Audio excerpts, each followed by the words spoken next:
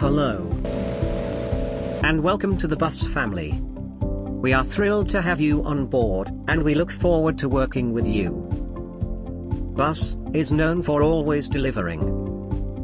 Always on time, day or night. You can depend on our services to go from A to B. Your first day might be a little bumpy, so here's what you can expect. Picking up passengers. Dropping off passengers. Petting the cat. Picking up passengers.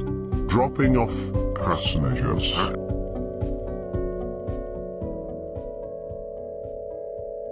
Um, excuse me. Ah.